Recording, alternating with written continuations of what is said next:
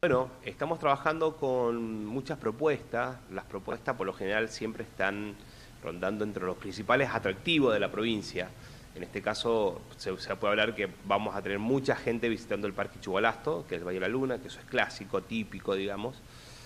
Aquel porteño o aquel visitante que viene a San Juan quiere ir al parque. Entonces, el Parque Chubalasto como principal atractivo. Pero bueno, después tenemos otras, ¿no? Calingasta Barrial, Pampa Leoncito, el Observatorio. Eh, hay departamentos que están poniéndose algo de, moda, como Hachal, bueno, con, con todo lo que tiene, ¿no? Mucha cultura, mucha tradición, mucha historia.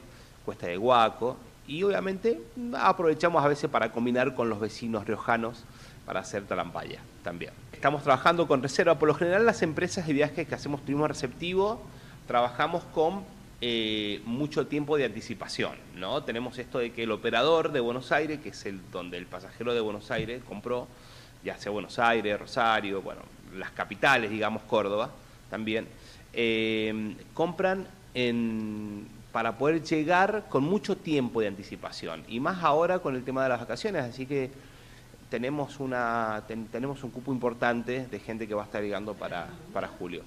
Estimamos que, a ver, la realidad es que tuvimos un junio fuerte, ¿sí? con, uno, con una ocupación, te diría, de un, de un 80-90%. Se, se juntaron muchas cosas en junio. Eh, los eventos que habían y también el previaje.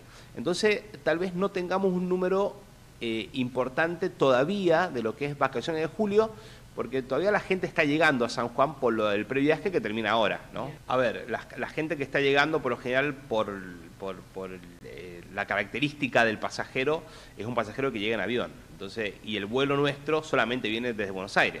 Entonces, bueno, tenemos dos semanales que son desde Córdoba, pero por lo general mucho porteño, mucha gente de Buenos Aires. Las más buscadas, actividad aventura, aire libre, naturaleza, eh, mucha montaña, que las tenemos, ¿sí? Muchas veces también buscan un poquito de agua, entonces vamos a hacer, hay un circuito que se llama Circuito Interlago, y los visitamos eh, visitando el, de Cuyún, la Quebrada del Sonda, aprovechamos para hacer bodegas, ¿sí? Pero la realidad es que la actividad de aventura es como la principal en el destino.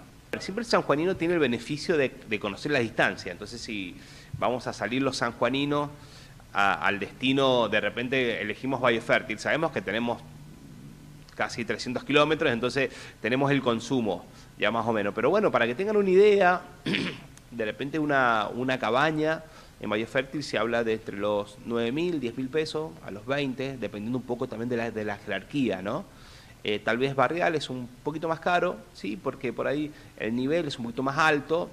Hay para todos los gustos, ¿no? Van desde los 8 mil, 7 mil pesos por día hasta los 28, 30 mil pesos, con muy buenos complejos de alojamiento que están en ambos lugares, tanto en Mayo Fértil como en Calingasta, ¿no?